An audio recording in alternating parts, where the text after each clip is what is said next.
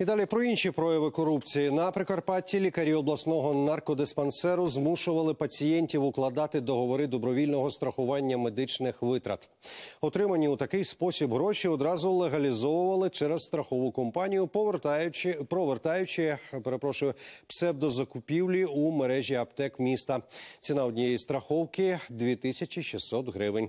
Під час оформлення чергової угоди затримали заступника головного лікаря цього медичного закладу. На робочому місці виявили понад 20 тисяч гривень.